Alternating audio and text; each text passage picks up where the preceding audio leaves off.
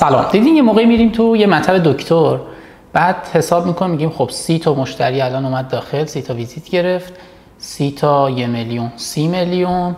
خب مثلا فرض کن امروز کلا یه پنجاه میلیون در بیاره. بخوایم حساب کنیم سر ماه تقریبا یه یه میلیارد و 500 میلیونی رو می‌زنه. همین اتفاق برای ما موقعی که سایت های مختلف هم می‌بینیم ممکنه بیفته. مثلا تو یه ویدیویی که لینکش رو تو یوتیوب براتون می‌ذارم اینجا توضیح دادم که host و domain چیه سایت ها چطور کار می‌کنن چطور host بخریم و اینا. توی ویدیو دیگه هم بود که گفتم بهترین host های وردپرس چیه که البته یه مقاله بود. اگه رفته باشین سراغ این ویدیوها شرکت های hosting شرکت های میزبانی وب دیده باشین که اصطلاح درستش هم hosting ه. احتمالا به این نتیجه رسیدین که درآمد خیلی بالایی دارن. شاید بعضا فکر می‌کنیم چون نگاه اول فکر می‌کنیم که مثلا ماهی 500 میلیون رو حداقل دارم. تو این ویدیو می‌خوام به توضیح بدم که اگه می‌خوای بری شرکت هاستینگ رو اندازی بکنی چه کاری باید انجام بدی چه کاری نباید انجام بدی چه خطراتی داره این کار چه مزیتایی داره. اصلا می‌خوام تجربه خودم رو بگم از این قضیه. یا اصلا هر حوزه دیگه ای. آیا اجاره دادن یک سرور یا یک کامپیوتر یا یک چیزی به بقیه سود بیشتری داره یا انجام دادن خدمات؟ کدوم یکی دردسر بیشتری داره کدوم یکی سود بیشتری داره؟ بذار قضیه رو برگردونم به خیلی خیلی قبل. اصلا شاید باورت نشه ولی مثلا برمیگرده به موقعی که من 9 سالم بود. تازه شروع کرده بودم پول در آوردن از اینترنت. از هر چیزی هم که فکرشو بکنید استارت زدیم ما. یعنی آموزش آموزش که نه اصلا آموزش موقع نمی‌دادیم. طراحی بنرهای تبلیغاتی طراحی سایت حالا دست و پا شکسته یه بچه بودیم دیگه. حالا مثلا روزی 5000 تومان از اینترنت پول در می آوردیم برای اون زمان پول خیلی زیادی بود. یه دوستی من داشتم که اسمش رو نمیارم به دلایلی که حالا تو ادامه ویدیو بهتون میگم. دوست خیلی عزیزی بود برای من. خیلی خیلی ما با هم دیگه دوست صمیمی بودیم. یعنی میشه گفت اون زمان شاید صمیمی ترین دوست من بود. و ناراحت میشم وقتی الان این قضیه رو بهتون توضیح میدم. حالا تو ادامه بهت میگم داستان چیه. ما با هم دیگه خیلی خیلی دوست بودیم. خب دو تا راه جدا رو جدا از هم انتخاب کردیم. یعنی هر دو تامون کامپیوتر رو بلد بودیم اون زمان به اندازه یه بچه 9 ساله. تو مدرسه همه می‌گفتن این دوتا دیگه خدای کامپیوترن و فلان. بعد موقع شد که از اینترنت پول در بیاریم. من رفتم سراغ طراحی سایت. اون رفت سراغ فروش سرور و اجاره هاست و اینا. اگه نمی‌دونی سرور چیه هاست چیه ویدیو مرتبط با اینکه سایت ها چطور کار می‌کنن و ببین. به طور کلی بخوام بهت بگم. ما برای نیاز برای اینکه سایت بسازیم نیاز به یه هاست داریم یه شرکت میزبانی وب که اطلاعاتمون اونجا نگه داریم. یه سری شرکت ها هستن. میان. یه کامپیوتر رو می‌خرن می‌ذارن توی دیتا سنتر برق همیشگی داره اینترنت پرسرعت همیشگی داره. یه بخشی از اون کامپیوتر رو به ما اجاره میدن. حالا مثلا اون کامپیوتر رو اگه بخره یه میلیون ببخشید اجاره کنه ماهی یه میلیون می‌تونه اینو مثلا به 100 نفر بده 100 تا 100 هزار تومن بگیره ازشون مثلا 10 میلیون. یعنی 10 برابرش رو سود بکنه در ماه که حالا تعداد این سرورها هرچی بیشتر بشه سودشون هم بیشتر میشه. این کاریه که شرکت های hosting انجام میدن درآمد خیلی خوبی هم داره اما یه موضوعی که می‌خوام بهتون بگم اینه که آره اتفاقی که افتاد این شد که من رفتم سراغ طراحی سایت. این دوستمون رفت سراغ شرکت hosting و میزبانی وب و اجاره سرور و اینا. خب خیلی هم هم دیگه کل داشتیم اون زمان دیگه. دو تا بچه ده ساله که مثلا ماهی چند میلیون از اینترنت پول در می آوردیم بعد از یه مدت که این کار رو انجام دادیم. من به اون می‌گفتم که حواست باشه سرورت نسوزه نسوزه. بعد هر روز بهش می‌گفتم سی پی سرورات نسوخته اطلاعات مردم رو از دست بدی. خب هاست اجاره می‌داد دیگه. اونم به من می‌گفت که ببین کار کار من. تو یه شرکت یه سفارش مثلا سایت شرکتی می‌گیری باید بشینی چند روزش وقت بذاری پولو می‌گیری دیگه تموم. دیگه مشتری رفت به امید خدا. من نه من سرور رو میدم اجاره. سر ماه که میشه هر ماه باید تمدید بکنم بدونی که من کاری بکنم فقط پشتیبانی باید بکنم و کلی دارم پول در میارم. خداییش خوبم پول در آورد. یعنی به نسبت من اون زمان وقتی مقایسه می‌کردم یه وقتای خداییش حسودی می‌شد. به عنوان یه بچه. به درآمد خیلی خوب رسید. مثلا یه بچه ای که هنوز گواهی نامه نداشت یه پراید صفر خرید. من مثلا اون موقع هنوز یه دوچرخه هم نداشتم. ولی اتفاقی که افتاد چی شد؟ یه موقع یهو تمام سرورها سوخت. یه اتفاق خیلی عجیبی افتاد. از این اتفاقی که تو اکثر شرکت های هاستینگ میفته همه سرورها سوخت مشتری ها پولاشون رو پس گرفتن و کلی دردسر و اون دوستمون هم اتفاقاتی براش افتاد. که خیلی ناراحت شدم. یعنی اگه بخوام رو راست بگم معتاد شد. اصلا بعد از اون قضیه من چند بارم رفتم پیگیرش شدم که باش صحبت بکنم. اگه میشه دوباره برگردونمش بیاد با خودمون کار بکنه. بعد از اینکه میهم وردپرس رو انداخته بودم. ولی دیدم نه اصلا راهی واقعا برای برگشت نیست. بگذاریم ناراحت شدم از اینکه این قضیه رو گفتم.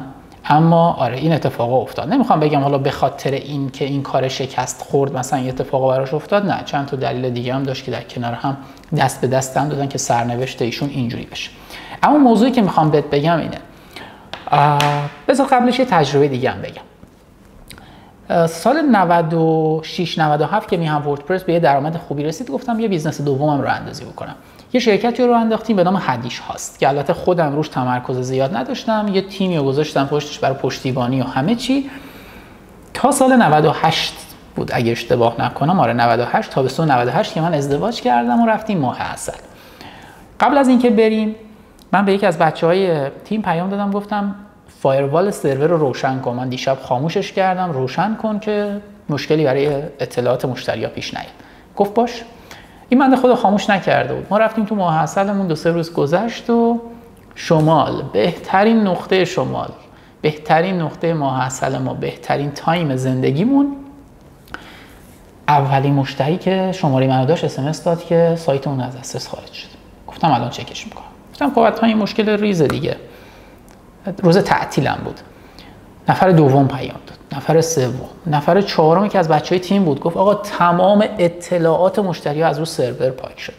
خب خدا شد بکاپ داشتیم. همه اطلاعات رو برگردوندیم. مشکل ها حل شد. یه دو سه روز ولی من تو محصلم درگیر بودم.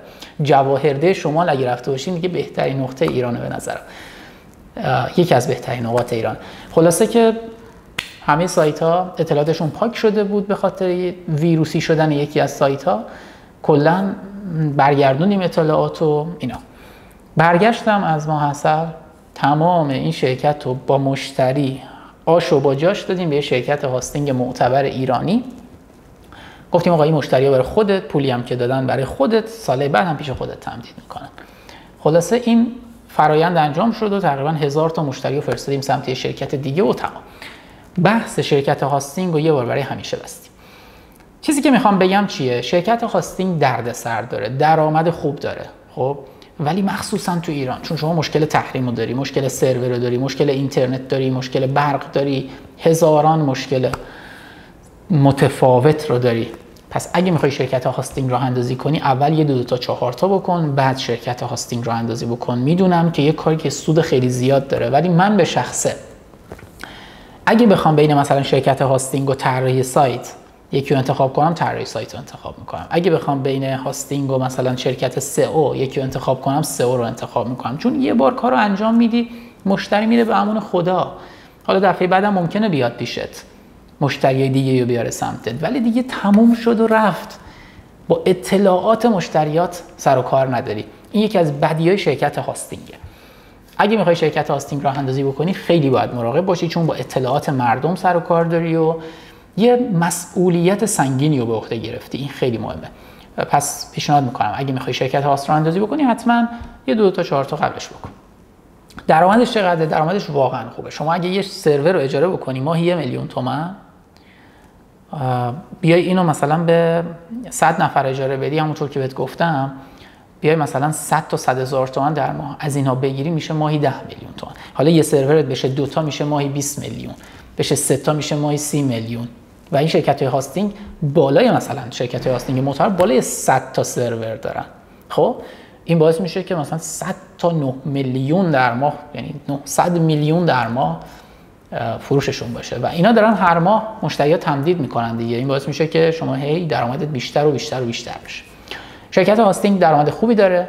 اصلا نمیگم درآمدش بده ولی دردسر خیلی زیادی داره.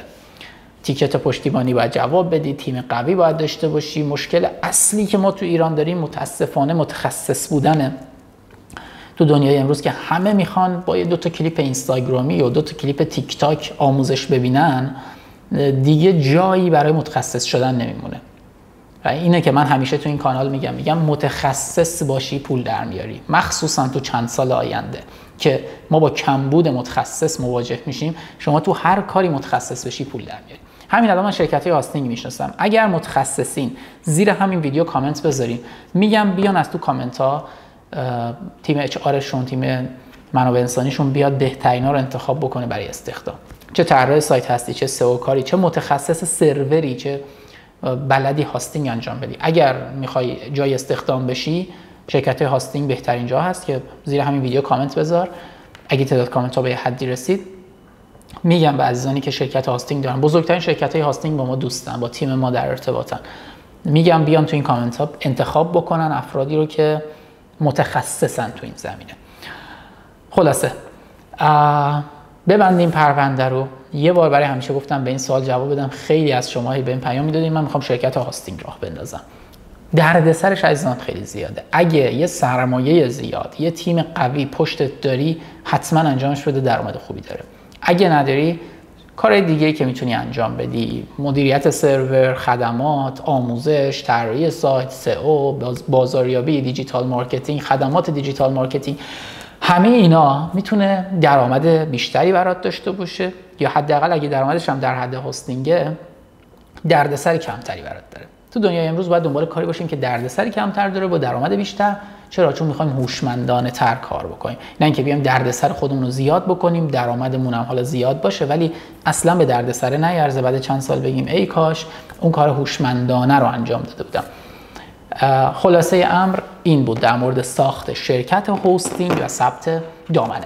امیدوارم برات مفید بوده باشه ویدیو. subscribe کن لایک کن. تو کانال می‌دونین که در مورد اینکه چطور سایت بسازیم ازش کسب درآمد بکنیم صحبت می‌کنیم. و یه نکته ای بود که برای خیلیاتون سوال بود گفتم در موردش صحبت بکنم.